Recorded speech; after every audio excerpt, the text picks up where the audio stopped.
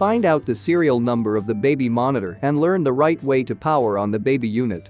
Here is how. There are two different baby unit versions.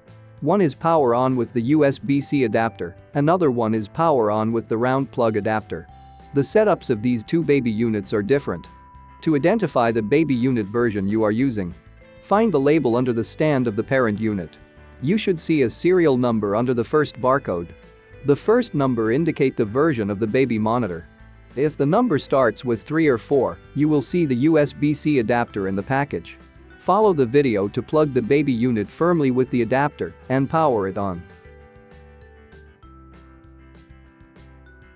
If the number starts with number 6, you will see the round plug adapter in the package. Follow the video to plug the baby unit firmly with the adapter and power it on.